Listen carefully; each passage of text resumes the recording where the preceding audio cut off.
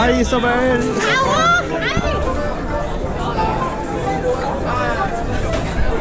Er det du som er 60? Ja. Gratulerer med dagen.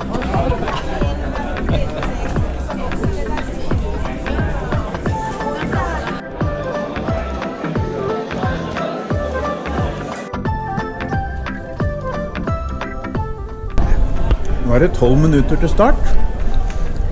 De fleste de er fortsatt i utpakningsområdet og gjør seg klar, men jeg tenkte jeg skulle få meg en liten tur på do før jeg setter i gang. Der er det bestandig kø.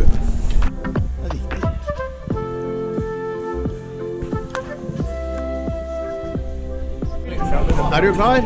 Jeg er så klar på jeg kan få blitt. Ja. Og husk, én runde er fullført løp. 50 km, det er eh, Det er målet. Yes. Runde av gangen. Ja, bra. Ti, ni, åtte, sju, seks, fem, fire, tre, to, én, gå! Lykke til, lykke til. Good night, everybody.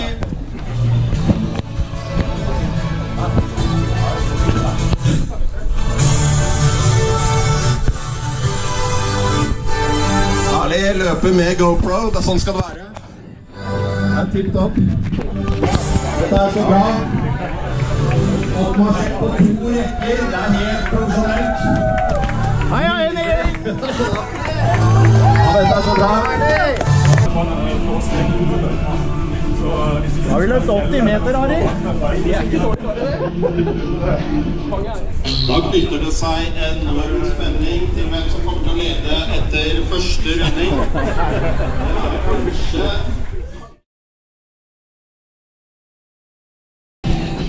Jepp. Nå er det passert øyeblikkelig to timer. Det går helt etter planen.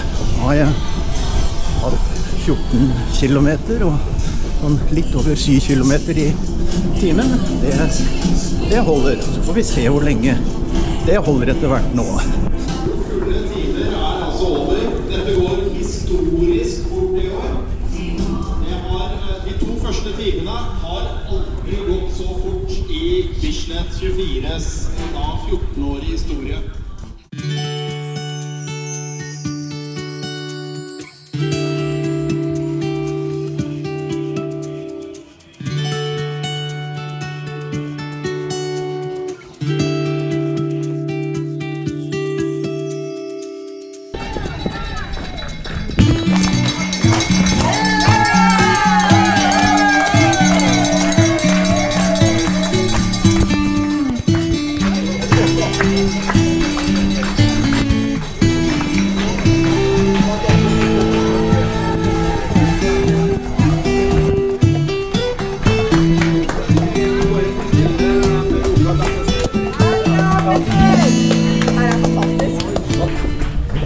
Slett siste runde etter 24 timer. Det er deilig å bli ferdig. Og det er blitt over 100 kilometer. Heia Petter! Herlig!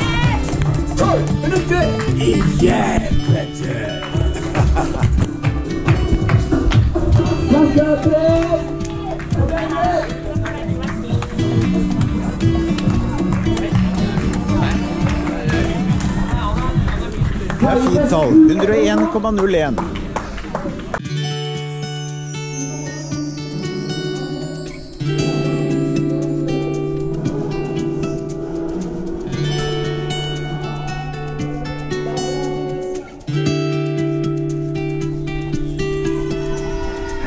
Det går bra.